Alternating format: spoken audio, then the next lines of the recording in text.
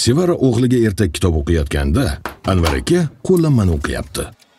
Ha bugun 8 mart emas lekin ayollarga har kuni mehrli bo'lish mumkin.